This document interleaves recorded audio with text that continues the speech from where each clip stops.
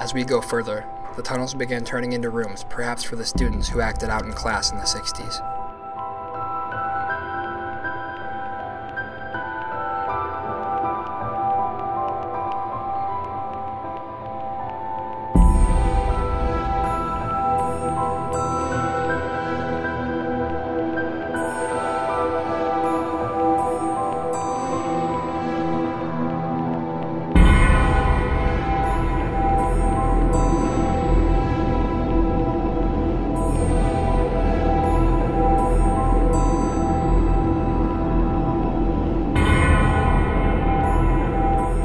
What we found in this next room could be the scariest encounter we've had with the paranormal world the demon of little Susie Springerfield.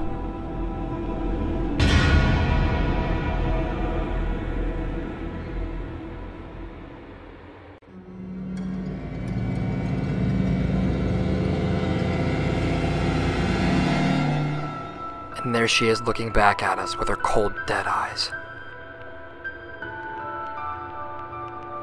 Zach Chambliss. Dude, it was dark. it? was cramped. Too tall for this crap. I don't know how Jack did it. It was great. Adam Tucker. It was dark, smelly. Kind of smelled good actually. Love the sweet smell of dust and whatnot. Jack Laney. I have to disagree with Adam. I thought it smelled absolutely horrible. Oh yeah, that's because you're stupid. And it was cool, but I'm way too tall to go down there. Bronson Lee. Let's go. Lorenzo Chambliss. I'm just glad I made it back alive. Paris Ball. We got some demons down here. We got some demons. Dr. Chambliss. I don't know these guys are talking about the height problem. I didn't have any kind of problem like that. I enjoyed going with you guys. We now know about the catacombs at Fairless High School. The notorious tunnels of Fairless High School. Where are they? Where do they go? The world may never know.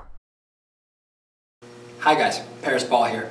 I hope you enjoyed the tunnel show, but I'm supposed to tell you that there's absolutely nothing down there. Everything was over dramatized for the sake of the show and for Falcon Media, and yeah, we had permission to do everything, so don't try to find them.